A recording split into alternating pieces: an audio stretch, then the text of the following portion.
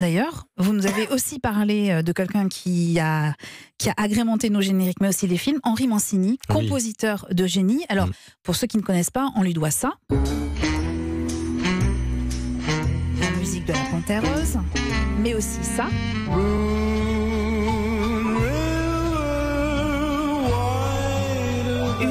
De Diamant sur le canapé euh, de Black Edwards, avec qui il avait fait déjà La Tour Eiffel et chanté aussi par Audrey Hepburn, ou encore la musique de ce film qui frôle le génie.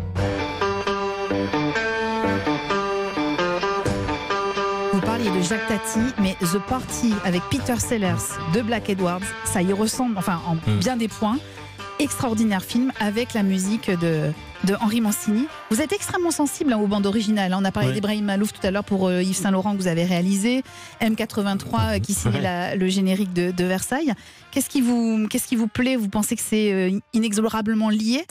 Pour moi, oui. En tout cas, je, je suis très sensible à la musique en général. Et, et puis, je suis peut-être très frustré de ne pas être musicien. Donc, je m'entoure de bons musiciens. C'était Ibrahim Elouf, là, ça a été Ludovic Bourse pour, euh, pour le Dindon. euh, À qui on doit aussi avec- artiste. Voilà, hein. et, et évidemment, euh, Mancini était un- une de nos références. Et The Party euh, était, moi, une de mes références, comme euh, un film très français, Oscar, par exemple.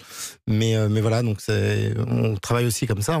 On, s'accroche à deux, trois références euh, qui sont bien senties, j'espère. En l'occurrence, celle-là, elle est forcément bien sentie parce que c'était un génie, quoi, Mancini. Un génie total. Et ce, et soir, il y a le bon, la brute et le truand à, à la télé, Ah bah avec évidemment bien Ennio sûr. Morricone, l'autre grand, grand, Mais grand génie. un de vos Ouais. films fétiches aussi, c'était Il était une fois à l'Amérique, non Si je me Ah trompe ouais, pas. bien Ouais, sûr. C'est ça. hein. Bah oui, j'ai Ouais. grandi avec, avec, avec ces, ces références-là de, de- de grands films euh, épiques et, et un, un peu, euh, un peu de garçon. Oui, alors à quoi ressemble votre playlist?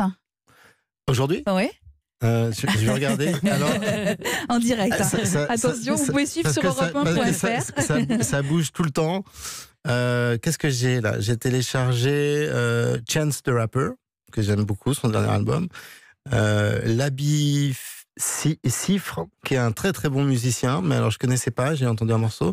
Le dernier morceau de Bonobo aussi, qui est très Ouais. bien. Euh, voilà. DJ Snake, que je connaissais pas, que j'ai découvert euh, vachement en L'album est extraordinaire. ouais. voilà. euh, et puis un vieux truc des années 90, alors je peux le même Un mettre en- en direct, ça s'appelle Sound of the DC. Ah, The Sound of Sea, c'est c'est un groupe belge. Mais non. Confetti. Les confettis, ouais. C'est un groupe belge. Ouais, c'est un groupe belge. C'est peut-être pas ce que la Belgique a produit de mieux musicalement parlant. D'accord, c'est- c'est une petite Madeleine mal. de Ah, mais Proust, moi, hein, j'adorais long- ça. J'ai revu le clip, c'est drôle. Ah oui, avec un grand. un Je vais grand- couper grand la musique, pardon, parce que. Oui.